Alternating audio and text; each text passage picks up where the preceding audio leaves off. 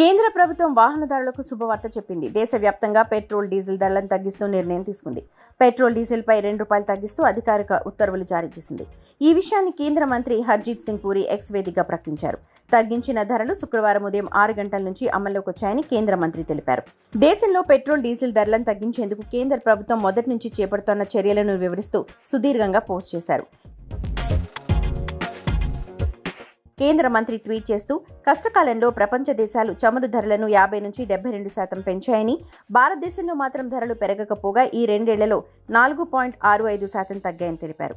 గతంలో భారతీయ అవసరాల కోసం చమురును కేవలం ఇరవై ఏడు దేశాల నుంచే కొనుగోలు చేసేవాళ్ళమని కానీ నరేంద్ర మోదీ ప్రధాని అయిన తర్వాత ఈ పరిధిని విస్తరించి ముప్పై తొమ్మిది దేశాల నుంచి చమురును కొనుగోలు చేస్తున్నామని తెలిపారు.